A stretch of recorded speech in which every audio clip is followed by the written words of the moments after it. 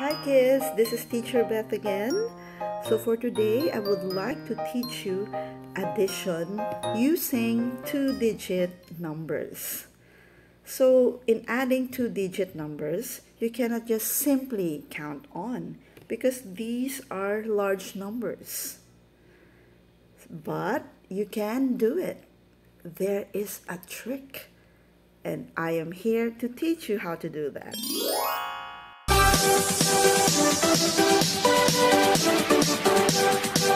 So how do we add two-digit addends? Well, to show that, let's have a sample here. 24 plus 12 equals, what is the sum? First, we have to add the ones. 4 plus 2 equals 6. Then we add the tens. 2 plus 1 equals 3. So, 24 plus 12 equals 36. So it is very important that you should align the tens and ones so that you can add properly. Let's have more examples. 50 plus 38.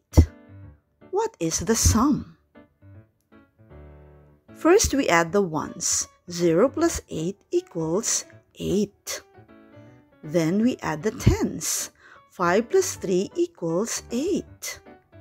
So 50 plus 38 equals 88. 41 plus 25. What is the sum?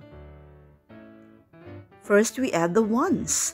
1 plus 5 equals 6. Then we add the tens. 4 plus 2 equals 6. 41 plus 25 equals 66. 65 plus 32. What is the sum? So first we add the ones. 5 plus 2 equals 7. Then we add the tens. 6 plus 3 equals 9. 65 plus 32 equals 97. So I think by now you know how to add addends with two digits. I think you're ready to answer your book now. Go get your book, brilliant kids.